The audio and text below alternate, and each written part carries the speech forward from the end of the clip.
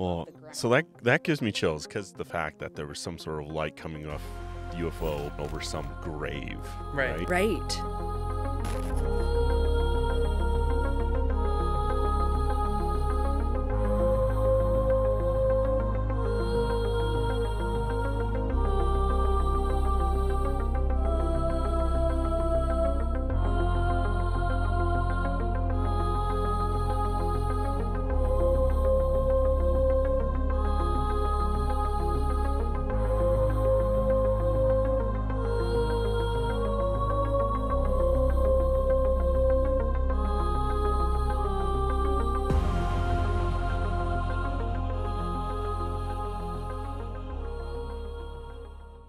Welcome back to Midnight Mysteries, the heart of Canadian Paranormal Radio. My name is Nathan. Tonight we're talking about the Mount Pleasant Cemetery. Have you heard of multiple witnesses and news coverage of UFO sightings over a large city graveyard before? Today we have you covered. We're also going to be talking about the history of Mount Pleasant Cemetery and some of the paranormal instances surrounding it. If you want to learn more about these kind of topics, like ghosts, the paranormal, spooky places, UFOs, and more, remember to click subscribe.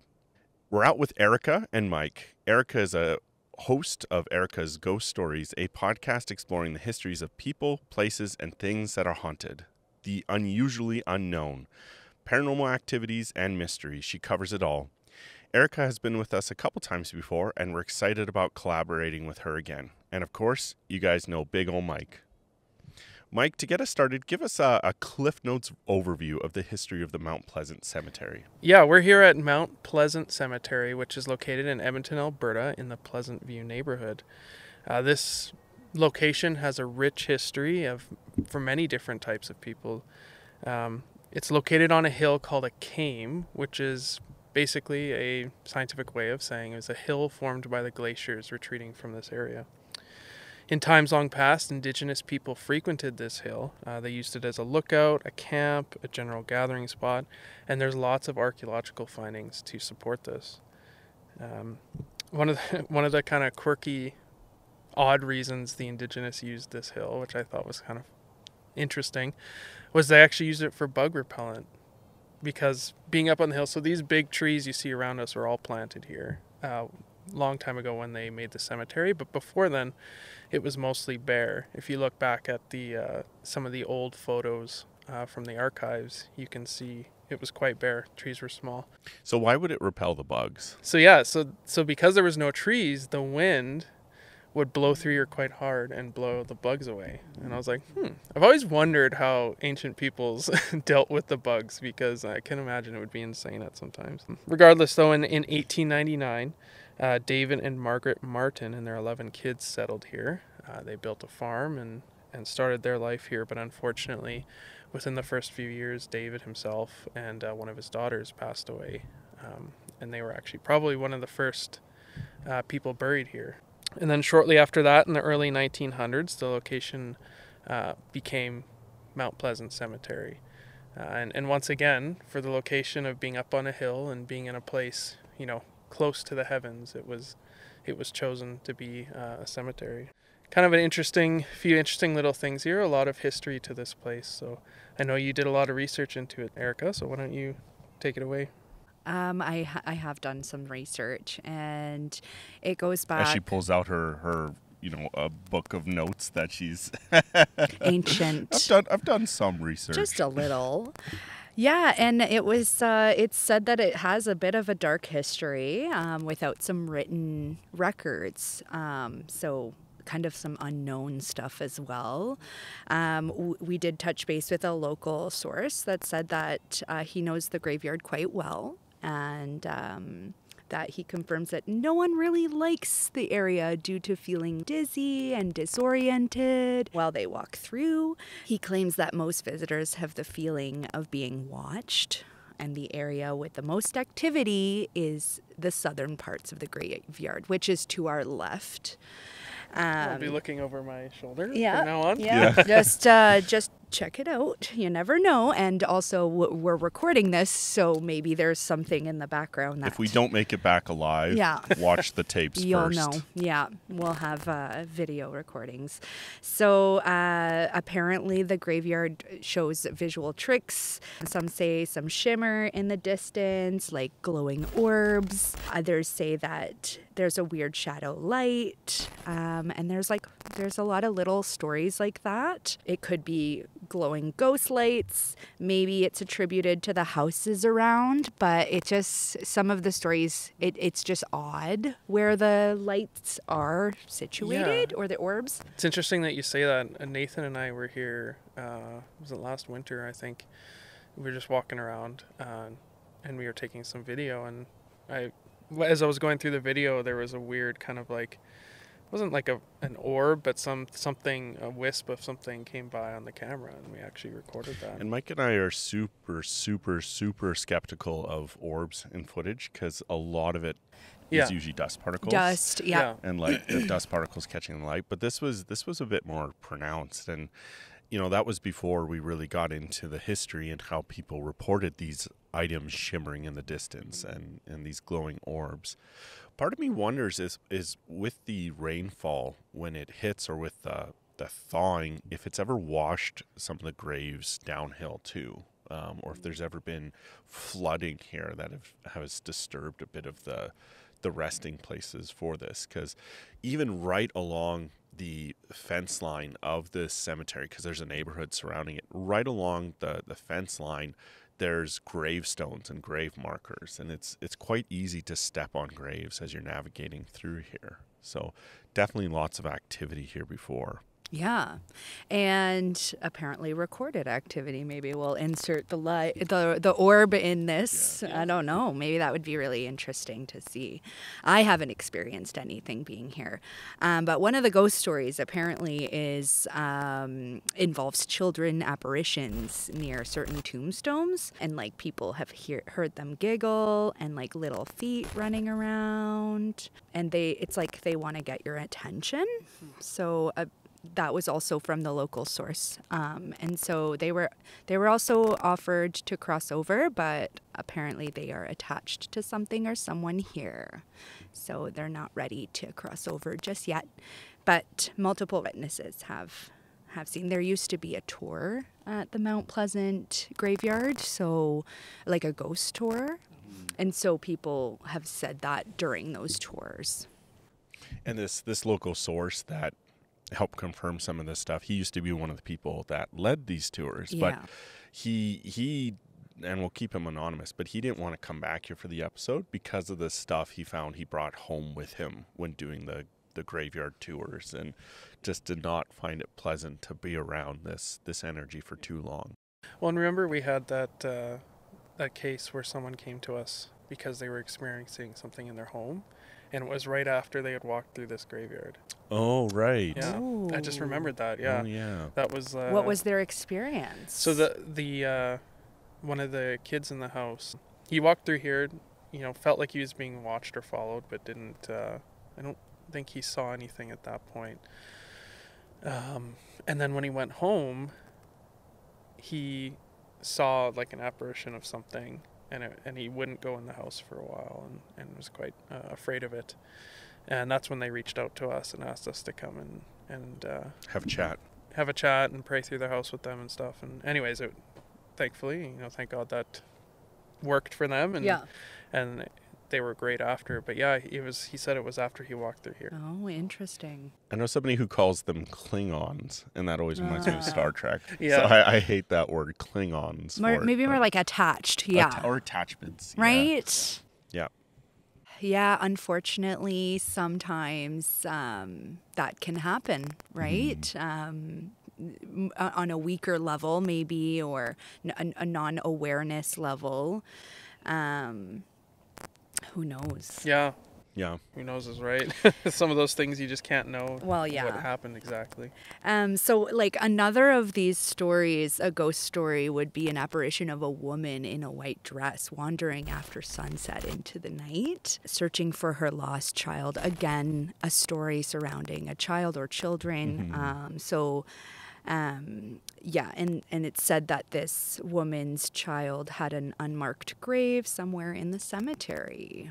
I find it fascinating that so many of these stories involve like women in white or yeah, things. I was and- just thinking the same thing. and I'm wondering. I'm wondering. Like, I, I believe with mm, most legends, there's some sort of root and some sort of firsthand experience, and so I'm wondering, you know, maybe it's just become a stereotype, but maybe there's something symbolic too. Maybe it's because you know there was purity involved, and there was like this this soul or spirit has become lost because of you know attachments that haven't been Mhm. dealt with, or who knows where that Yeah, originated It's from. It's interesting to think about, yeah, because I, I was thinking the exact same thing as you. I was like, yeah, I sure hear a lot about, yeah, like a woman in a white dress Yeah. or, or something like that.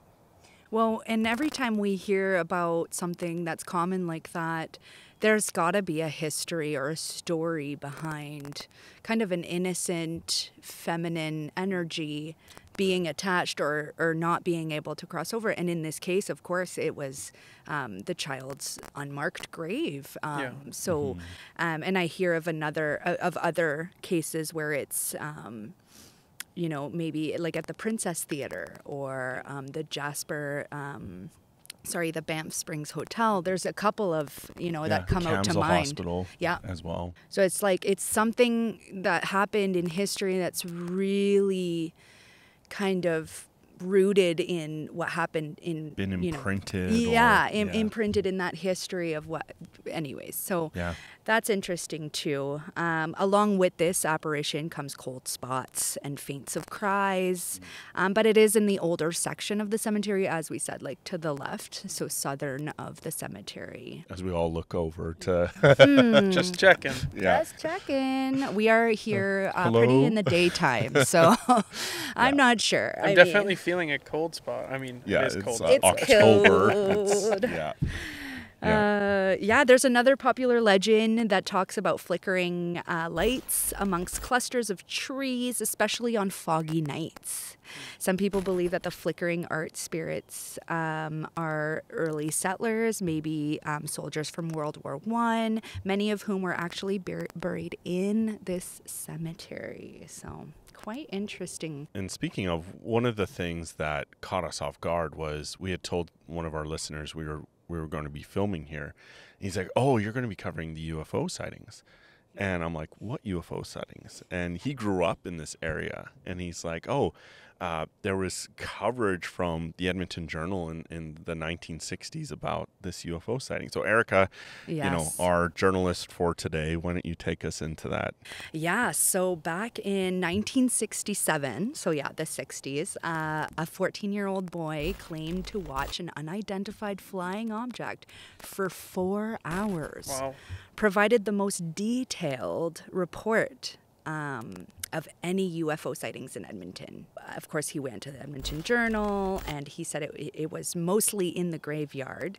And it was in the middle of the night, uh, prob- approximately about 2 a.m. He saw a white beamed light over several blocks, uh, which he followed before it disappeared. Once he got back to his home, it appeared again. Anyways, he walks over to his friend's house, Glenn, Glenn Coates, and they both got binoculars and they both watched this UFO sighting for quite some times. Eventually, Glenn went home, and Ricky still couldn't go to bed, couldn't sleep, so he kept following it until it disappeared. Uh, Ricky described the events v- with details, accompanied by a drawing that And we'll put this drawing up. we for- absolutely for will. Yeah, so um, and then so in his description, he said there was a spherical shaped ship with red and green lights. The top and bottom of the ship spun really fast. Um, it made a muffled whistling noise when it hovered.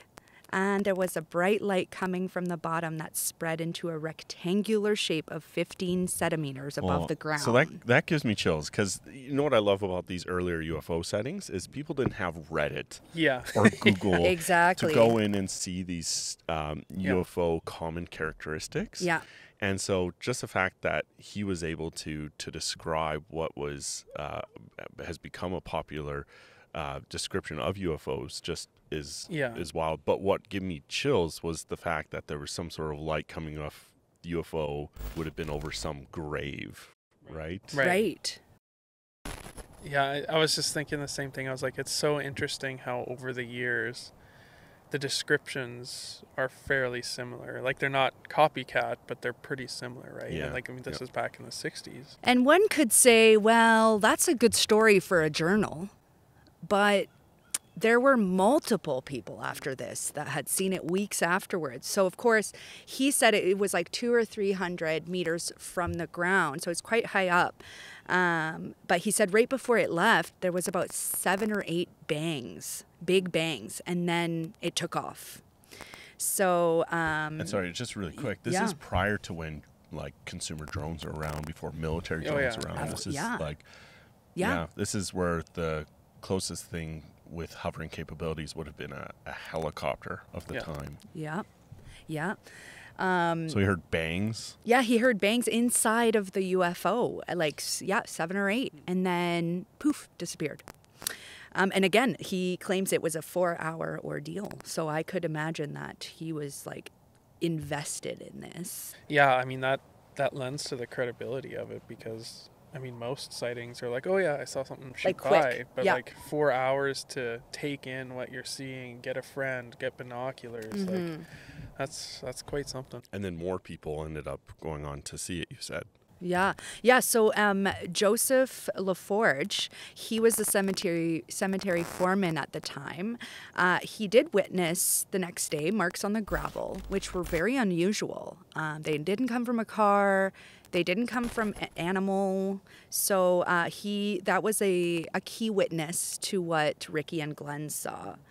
Um, Ricky's story at- attracted people to Mount Pleasant. Uh, and two days later, a middle aged couple named Vince and Kate that lived in the area um, saw an object with red and green flashing lights with a bright light on underneath it, hovering. Uh, and it had vanished instantly. Uh, Kate called the journal. The UFO reappeared five minutes later and again disappeared.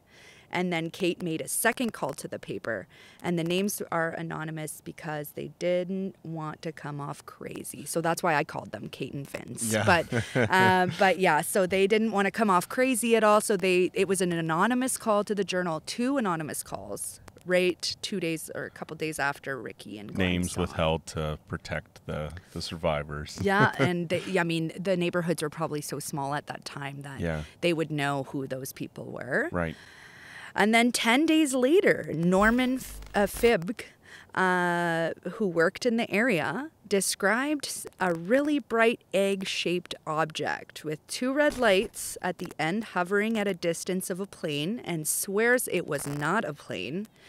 Um, the ship then came down really fast and then headed west, which actually we are facing west. So, um, yeah. So and then and then the fourth, I guess sixth person would be um, Jack Strangman, a school janitor, um, reported seeing a white oval-shaped object through his binoculars close to midnight at the cemetery. So at this point, like literally with the foreman, there had been six witnesses um, within two weeks. And these aren't, you know, these aren't UFO hunters or paranormal investigators that are out Those didn't looking exist for In stuff. the then. 60s, yeah, It's like these people are, um, these people are just out and about their everyday lives, and it's Yeah. like saw something unusual, something strange and extraordinary. yeah. Yeah, and I think you know, typically I look at, um, you know, there's an initial sighting, and then there's a slew of ones that follow that, and and you know the the credibility goes down a little bit, but at the same time, you know, when someone hears about that, all of a sudden they're paying attention more. Like mm-hmm. if they're walking through here, maybe they're not, you know, looking up at the sky, but Yeah.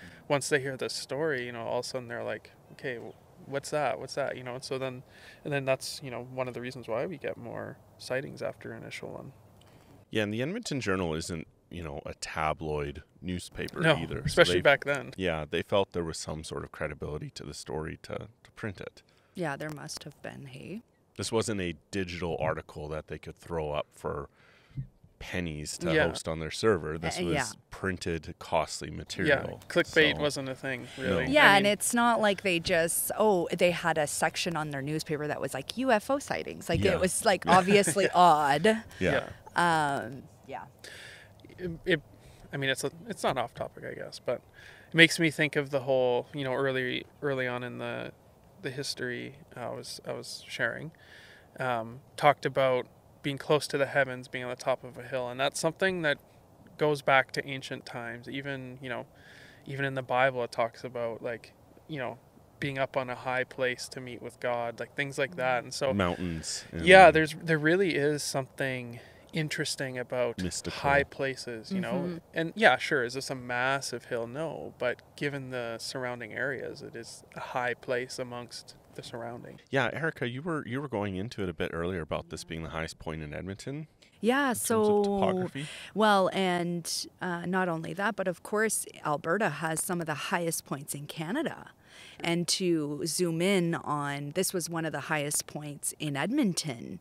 Um, so we're above sea quite a lot, Yeah. th- like thousands of feet, right? So um, that's interesting too. We are closer to the sky. Uh, a number of years ago, um, I was listening to one of Edmonton's former mayors talk about how people have always been drawn to this part of the river valley. They've always been drawn to this part of of the province, from First Nations groups to settlers and et cetera. So there's something intrinsically mystical about this place. And okay, so for those of you that don't know, which is probably everybody listening, Nathan knows, I'm like a weather geek. I study the I study the I did models. not know that. Yeah, I study the models. Like I do my own forecasts. I was going to school at one point to be a meteorologist, but didn't want to do it for work. But it remained my hobby and still is. Um, and so so you talk about like something drew people here. Um, there's something very central about Edmonton. Even even geographically, you look at a uh, map of Alberta, it's like pretty much dead center.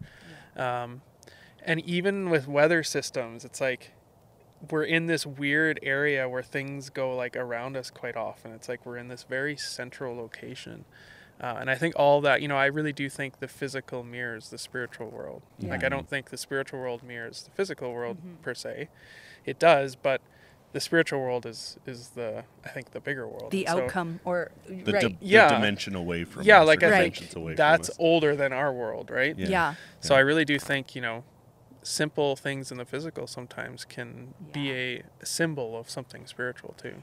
And just to add to that, uh, y- Amiskwaciwaskahikan, which is Edmonton, um, used to be a very much a place where Indigenous uh, communities met. Yeah. Different, like Cree with uh, Blackfoot, and uh, so um, way before settler times, um, it- it had that energy, and it, it continues to. That river and that ar- this specific area of the river is very powerful.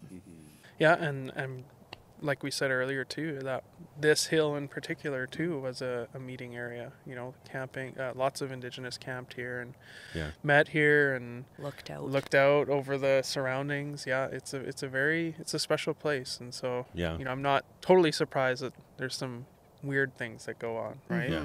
Mm-hmm. Well, and I, I love how, um, you know, there the estimates for when indigenous groups were here keeps growing longer and longer. Like, oh, it's now thousands of years ago. Yeah. It's not just a few Yeah. hundred. It's Yeah. yeah. Yeah, they're finding more and more evidence that it was quite stretched quite a ways back. Mm-hmm. You know, one thing I wanted to add, uh, this story about the UFO, the way we learned about it initially, right, was through somebody bringing it to our attention. And so I just want to put it out there for, for all of you watching. Like, if you know some really interesting stories or, or legends or sightings that have happened, you know, here in Alberta somewhere, let us know because we would love to dig into it. And Or even see- in Canada, like Yeah, please even- bring it forward, and we'd love to cover it. Yeah, we'll go to Saskatchewan. Yeah, sure. yeah, yeah. the Mysteries field trip. that's Yeah. right. Yeah. Yeah, So Yeah. just wanted to put that out there because that's that's how you, you know, you find a lot of the cool stories is just talking to people. So yeah. Or Let if us you have your own personal story, um, Yeah. let us know. Did you or someone you know ever encounter a, a UFO or experience any sort of UFO phenomena? We'd love to connect with you. Send us a message or add your thoughts and comments below, and we'll respond right back. Thanks for joining us. Remember, stay weird, and we'll see you next time on Midnight Mysteries. Have a good night.